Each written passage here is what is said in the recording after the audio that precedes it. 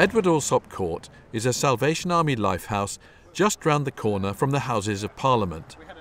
So Kris Hopkins MP didn't have far to come when he paid a visit on March the 12th. Mr Hopkins, a minister in the Department for Communities and Local Government, was shown round the centre by manager Lieutenant Keith Greer and the Salvation Army's head of homelessness services, Mitch Menagh. What are you doing about the transition into work in particular? Uh, we have a skills team um, and they would identify from the very beginning what training they, they're wanting, what training they need. Very nice, Willie. Resident Willie Willis proudly showed the minister his room, one of 108 at the centre. We have quite a nice view of the, of the church. These are some of the pictures uh, because we're very patriotic. Yeah, Thank you very much. yeah. Thank to you see very you. much. Appreciate you letting us have a look. you. Yeah.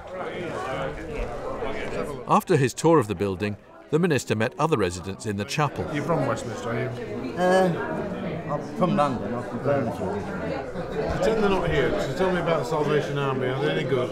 Yeah, No, you can tell me the truth. Yeah, you can. I'm interested to hear as well. here it, I've had nothing but pure support all the way through. And they, I mean, they are really, really good here.